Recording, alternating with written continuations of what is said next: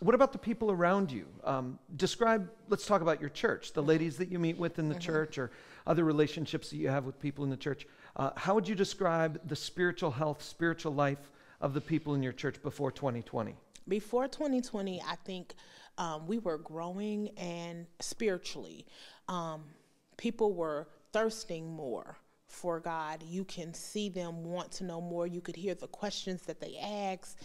Um, after our service, my husband always holds like a question session where if it's anything um, dealing with the sermon or the scriptures that we have gone over that you have a question about, you can ask. And so you could hear um, in their questions how they were trying to learn more and grow more and become closer with God. And then um, when Bible study stopped and um, the meeting stopped, we didn't completely like stop, but what happened was you began to see it just dwindle because people were afraid to come outside. And so um, I feel that it kind of stunted the growth spiritually of our ministry because people just I think you learn better in an environment where it's not just your perspective. You know, you can hear other people's thoughts and their views on certain things. And so when we're learning, you know, you would hear, "Oh, I never thought of it like that. I didn't I didn't think he was saying it like that."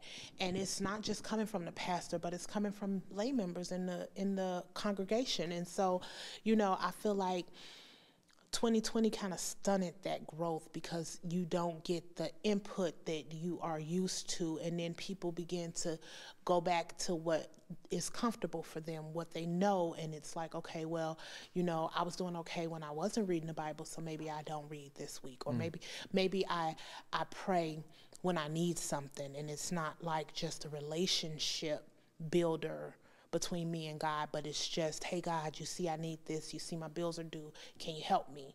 type situation. And so now coming out of that, we're trying to grow back the relationship portion of the relationship with our with our God because you know just like naturally you build relationships with people you have to build that relationship with God so that you can learn to trust him eh, no matter what's going on because that's kind of what got me through those low times. It's just like okay well when i was going through things my trust in him carried me through those low moments to come on back up. So that sounds like uh, before 2020 you were developing a, a real community of hungry people. Uh, mm-hmm. uh, people who were hungry for the word of god. They were digging into it. They mm-hmm. were uh, interacting on sundays but then also on fridays. Mm-hmm. i imagine that must have felt really vibrant it did.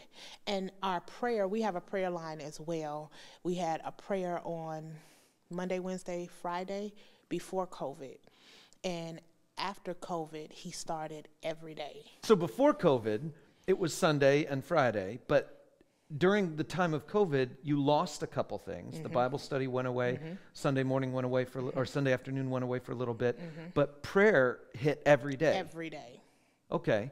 And so that shifted your dynamic completely completely as mm-hmm. to what mm-hmm. you were doing for spiritual growth yes uh, are you still doing prayer every day every night at six o'clock